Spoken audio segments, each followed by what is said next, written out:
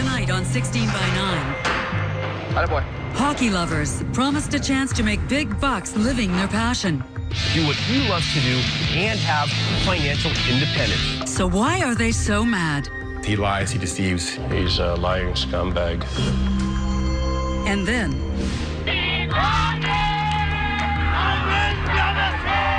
The revival of an underground religion. Popping up in unexpected places. Isn't it like evil? Isn't it like bad? It's the opposite. And when tiny Canadians have major emergencies. A lot of things happen in transport that could prove disastrous. These elite lifesavers spring into action. We're prepared to take care of the sickest of the sick.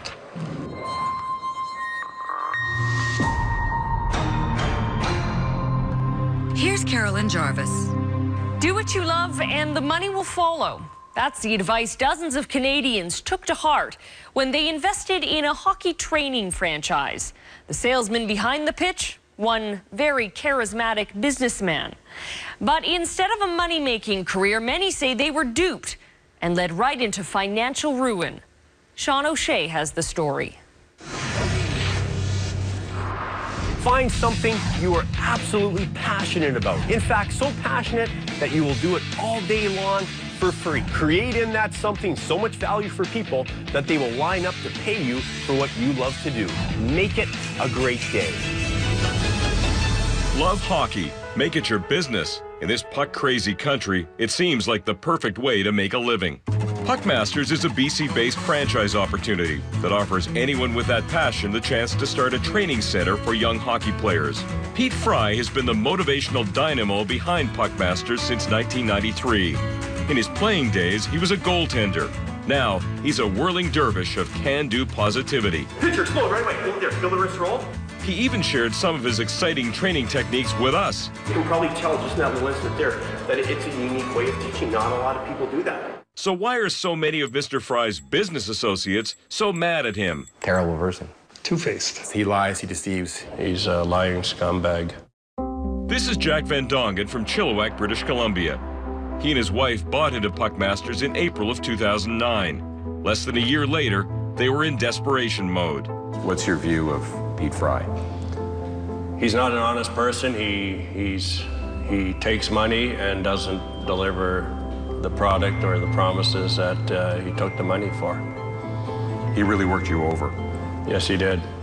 But it didn't start out that way. He comes across as a really nice guy with a positive personality and really wants you to be successful. Encouraged by Pete Fry's personality and the promise of a proven business plan, Jack bought in for $30,000. Puckmasters promises to provide expertise on how to build the training rink, supply equipment, and market the business to customers. You're signing with a franchise to get guidance on how to set up and, and how to operate the business. Jack had been a franchise owner before, running a Mr. Lube, and thought he'd be getting the same level of support from Puckmasters. One explained and directed you in every step of the way, and uh, and Peter never never did. Jack says he received virtually nothing he had been promised. Did anything he ever did bring you any business? No. You did it all yourself. We basically did everything ourselves.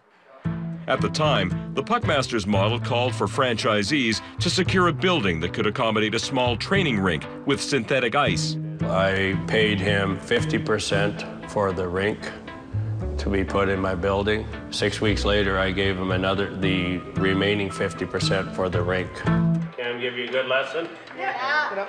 But Jack says the $56,000 rink was missing key components, like the glass on one side and the goalie nets, leaving him on the hook for thousands more. When it was finally finished, he was nearly ready to open. All he needed was this special treadmill to help kids work on their skating stride. Sticker price, nearly $100,000. The uh, agreement that we had in, place was that I paid 50% down. The treadmill would be delivered in eight weeks, and um, after eight months, I still didn't have a treadmill, and that's when uh, the crap hit the fan. Jack no longer trusted Pete Fry's word, so he decided to call the treadmill manufacturer himself, who gave him a stunning piece of news. Peter has been telling him that I couldn't come up with the money. So he was lying. Yes, he was. Direct lie and a, a knowing lie, not, not a mistake like he likes to call it. Puckmasters does all kinds of advertising on YouTube, but there's one video that's not so flattering. Pete Fry's appearance on the CBC's Dragon's Den. Do you think we're idiots here? That we're going to give you our dough at some crazy multiple? Why would I ever do that? Why would I take real money and give it to you to burn it like that? I was sick to my stomach after I saw him on the Dragon's Den, and I just thought, wow, I'm dead meat. After that, Jack severed ties with Puckmasters and has been trying to revive his frozen business by himself. So Pete Fry says you can make 100 to $150,000 a year, maybe in your first year. How much money did you actually make? Under a thousand a month, under 12,000 in my first year. Uh, before I met Pete Fry, I was actually uh, financially secure and had a, a good paying job. I don't know if I'm in uh, bankruptcy mode yet, but I had uh, basically three rental properties and I'm now down to one. Pete Fry signed an agreement to pay back Jack's down payment on the treadmill in January 2010. But Jack says it's been more than a year since he's seen a dime, so he complained to the RCMP fraud division. It's easy to sign paper if you don't honor anything. Should Pete Fry be charged? He should be charged. He should be thrown away for life the way he's nailed me and, and everybody else out there. But the RCMP didn't lay criminal charges. They concluded Jack's case was a civil matter, partly because Pete Fry promised to pay the money back. Corporal Jamie Chung speaks for the Coquitlam RCMP. We understand people's frustration when they lose large amounts of money. And of course, everybody's going to be mad if they lose that much money. And uh, we would look at any information that is out there that has something to do with the case. But it only took 16 by 9 a few days to uncover more unhappy franchisees. So how hard did the RCMP actually look? Hopefully nobody else gets hurt the way we've all been hurt by, by this man that, that has no conscience and no morals. Make it a great day.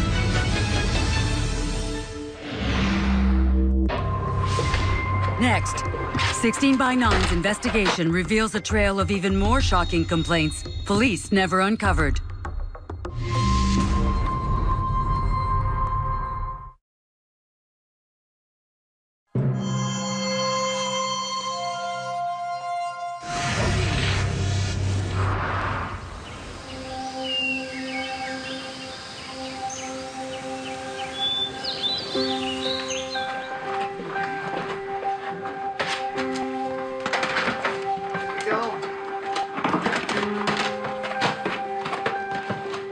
James and Lori Klassen are getting ready to move from their home in Mission, British Columbia, but not by choice.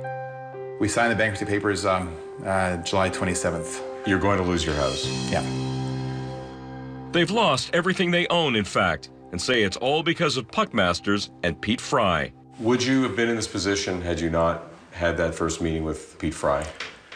No, we would not have. The meeting with Puckmasters and Pete Fry um, convinced us that we could make money at this. Encouraged by that belief and Pete Fry's optimism, the couple from Mission, BC took out a big loan and in June 2007 bet their family's financial future on Puckmasters. And $300,000 for you and your family where you live and your kind of employment, was that a lot of money? Yeah, that was everything we had, plus more, yes. Despite the costs, James was convinced the money would immediately start rolling in. We were uh, told that we'd be making money before we opened the doors. Did that happen? We didn't make money one month. So as months and months go by, you've got to find other ways to be able to pay the bills. Yeah, correct, yes. And you used your credit cards and you used your home equity loan and you ended up putting your house up as yes. as collateral essentially for, for all of these rising debts. Mm-hmm. Finally, last fall, the last of the money ran out and the business went belly up. Is it fair to say it's been a very expensive and difficult learning experience? I've gone to university. I've got uh, several degrees and a master's degree. I should have known better, but I didn't pay as much for those as I paid for this one. Did it cost you a bit of your dream? Uh, one of the one of the goals was so I could retire early from the uh, teaching world and do something different. And now I probably won't be able to retire until I'm 65. But that broken dream goes far beyond British Columbia, even Canada. 16 by 9 discovered franchises were sold in at least 34 locations across North America. Today, only nine are still operating under the Puckmasters name. Some severed ties with Puckmasters, others have closed. Canada's frozen sport has little in common with steamy South Florida, but that didn't stop Pete Fry from selling franchises here. Edie and Lee Bishop brought their passion for hockey from Philadelphia when they moved to Naples, Florida 14 years ago. When they found out about Puckmasters in 2009, they were eager to give it a try. I was very excited because we're hockey people. We loved hockey. There was only one hitch. Lee had kidney cancer. I take a lot of medication. Uh, I get sick a lot, like out of nowhere. But after surgery to remove the cancerous kidney in spring of 2009, Lee was given a clean bill of health, so they decided to take a chance on one condition. I said to him, anything that I give you right now, you have to guarantee me that if things don't work out, you will give it back. He said, not a problem. I mean, his handshake was his word. So they trusted him. But only a few months later, in September, doctors gave Lee the bad news. It's everywhere in your body, and uh, we can't open you back up. And you got six months to live.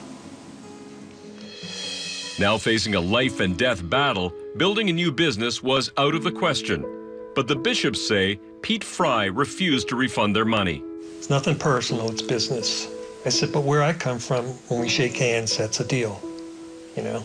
But to Lee and his family, it was very personal. Because I wanted to leave them financially secure.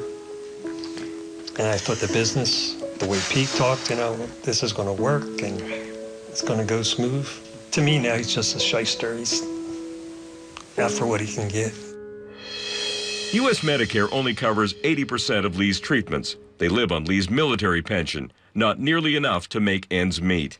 We just don't have the money. We don't have the funds because all of our money's going to cancer. You know, uh, we've depleted our savings. The Bishops used to enjoy riding motorcycles together. Now, Lee can only watch his wife ride into an uncertain future, thanks in part to Pete Fry.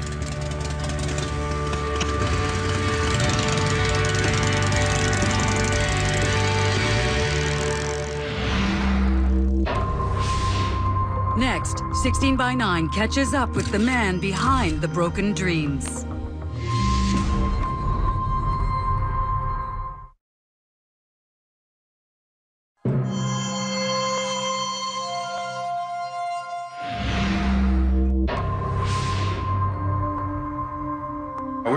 Were him that we'd be making money before we opened the doors. Did that happen?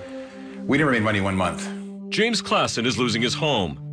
Jack Van Dongen says he's lost more than $100,000. Edie and Lee Bishop are fighting cancer and a mountain of debt. To me now, he's just a shyster. Just three of many Puckmasters franchisees who say Pete Fry ripped them off.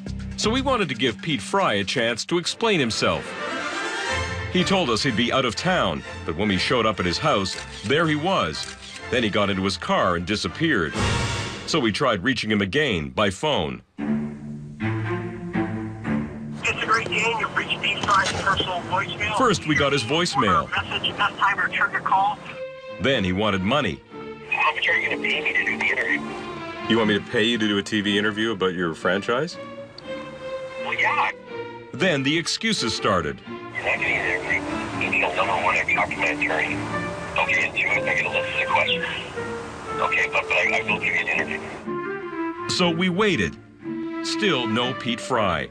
Are you not going to go home tonight? Are you going to leave? You're going to leave your wife and your family here without you because you're afraid to come home and do an interview? After hours waiting at his house and more cajoling, he finally agreed to meet us at this hotel. He's here. And suddenly, after avoiding us all night, Pete Fry was our friend. What's your name? Kirk. Kirk Pete Fry. Nice to meet you. Nice to meet you, Kirk.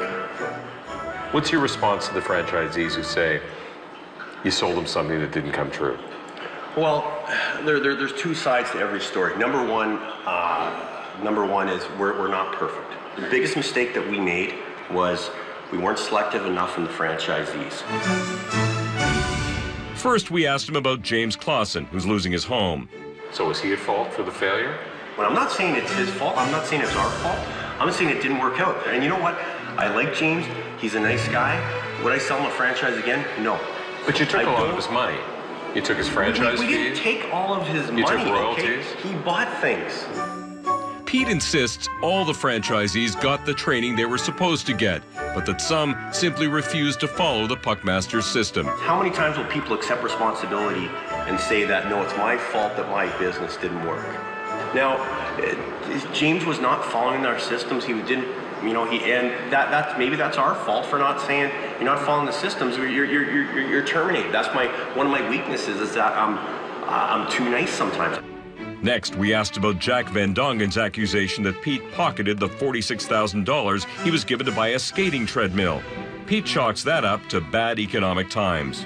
You know, a lot of businesses can go through tough times and stuff, and you have to be creative and get creative and Did you- find a way to make it work for everyone. The whole economy blew up the last three years. How many how many businesses went out of business?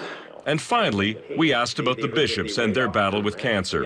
Pete says he lost money after spending time with them and doesn't owe them a thing. We spent countless of hours putting this together, piecing this together with them, and, and it's fun. Finally, when we pulled it off, when we put it together, she pulled the pin, and I was furious. Pete Fry says the franchise agreement never guaranteed a financial return. But what did he tell franchisees? Number one is I never would, and never have said you're going to make this amount of money no matter what. You never said that. Listen, I would, I would, I would say that. Okay, that's that's going on there. The model wasn't working, the business was failing, but you kept selling franchises to new business people. Let, let me stop you there. Who wanted, There- to, who wanted to make money. No, no, there were some locations that, that were making money, okay? And uh, Pete now says his biggest mistake was continuing to sell franchises when the original business model using synthetic ice wasn't working. hey, you know what? Okay, I'll say it was a failure. Okay, you can you can air that. You can put that on there. Okay, I'm saying that we had some issues. We've dealt with them, right? We're still dealing with some, and we are switching over to using the real ice, using the, the two-thirds size rinks. Pete now admits many kids don't want to train on fake ice. He believes the new business model using real ice will be easier to sell and offer new sources of revenue. I made mistakes. I think we fixed the foundation in order to make it very successful long term, but time will tell. Pete claims revenues have jumped more than 300% at the real ice locations. But already, there are questions about whether this really is a new Puckmasters. This is Sean Snyder. The Montreal native bought into the new real ice business model in February. So this is the uh, all-new Puckmasters training rink concept. But when Sean told us his story, it sounded like the same story we heard from other franchisees. Uh, what didn't he promise me? Well, we're gonna have you making money before you open the door. At all those failed franchises, Pete had an answer for that too. That was the old system. That was the synthetic ice, not the new system. And Puckmasters is going through a transition. This is Sean's building, only it won't be a Puckmasters. Sean says all he ever got from his franchise fee was a thin stack of useless paper. Sales building manual, the all-new Puckmasters training rink concept, and the Puckmasters franchise agreement. And all for the low, low price of $30,000 plus 5% GST. Sean says Pete didn't live up to his promises, so he cut ties with Puckmasters in May. I was speaking to him, he got very angry. His exact words were, why are you being such a jerk? Sean says he contacted a lawyer, but believes Pete knows most of his former franchisees can't afford to sue him. He actually said uh, he was very smart and he's gotten away with a lot of things and uh, try all I want. It's a kick in the pants. It Doesn't feel nice. It's probably the same feeling as being kicked in the pants, so. But Sean didn't lie down. He tracked down former franchisees created a website with their stories and put a warning on YouTube for future franchisees. To give people the opportunity to make a proper decision that I didn't get and all these other people didn't get. Sean says his experience shows Puckmasters hasn't changed, and neither has Pete Fry. Dreamers, beware. I was trying to live my passion and my dreams, like he says on his website. If he goes to jail, if people get their money back, fantastic.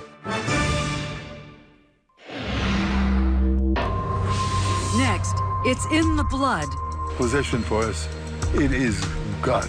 A revival of a religion.